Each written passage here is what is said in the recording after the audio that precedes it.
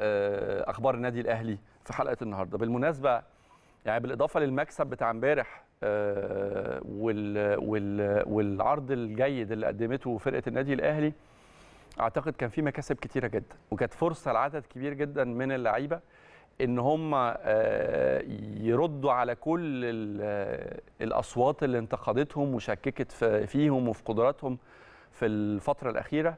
بشوف إنه امبارح فرقة النادي الأهلي استعادت جزء كبير جدا من مستواها والأهم من المستوى والكرة والفنيات الروح. الروح امبارح كنا حاسين إن اللعيبة بتبذل فوق طاقتها وكان الله في عونهم. أنا مقدر تماما وأنا هنا يمكن عشان قريب شوية من الكواليس عارف قد إيه اللعيبة بتعاني وعارف اللعيبة قد إيه مرهقة. واحدة من فترات للأسف الشديدة آه، ال- والصعبة علينا امبارح طبعا خسارة آه، عمرو السولية.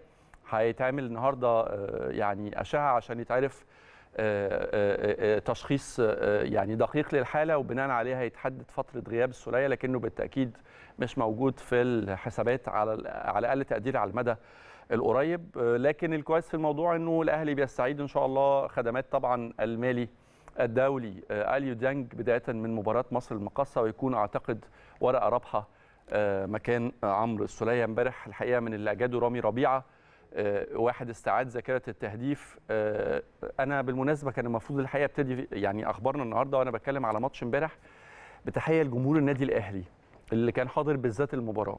لأنه الحقيقة ال- الولاد الشباب الرجالة اللي كانوا موجودين في أرض الملعب امبارح الأهلي والسلام من الدقيقة الأولى بيحسسك وكأن ما فيش أي حاجة مهمة آه، حصلت قبل كده. وكأن ما فيش وجع بسبب سوء العروض أو تراجع النتائج أو خسارة لقب بطولة كأس مصر. الناس بتبتدي من اللحظة الأولى وكأنها بتحتفل بحالة تتويج وكأنها فرحانة بانه الأهلي كسب بطولة. وما ما فيش ثانية على مدار ال 90 دقيقة حسيت إن الجمهور فيها وفر صوته ولا وفر مجهوده بالعكس الحقيقة قدموا صورة أكتر من رائعة. عشان كده هي دي سر عظمة جماهير النادي الأهلي وهي دي الروح اللي إحنا نتمنى إنها تكون موجودة في الفترة اللي جاية. السولية آه، آه، هيغيب الشحات بره الحسابات. آه، شريف أعتقد برضو قدامه فترة طويلة فالموسم بالنسبة له. انتهى محمد محمود عبد المنعم. يعني الدنيا خفيفة وقريبة وارد جدا إن شاء الله يكونوا موجودين بداية من ماتش مصر المقاصة. آه، خليني أقول لكم سريعا جدا من أخبارنا كمان إن يمكن- طبعا مستر ريكاردو سواريش بيتعامل مع كل مباراة دلوقتي على حدة. وحاليا هو بيدرس فرقة مصر المقاصة اللي طبعا نتائجها ومستواها الموسم ده يعني ما يقلقش مفترض يعني وإن كان كل مباراة الحقيقة أعتقد إن إحنا علينا إن إحنا نعمل لها ألف حساب.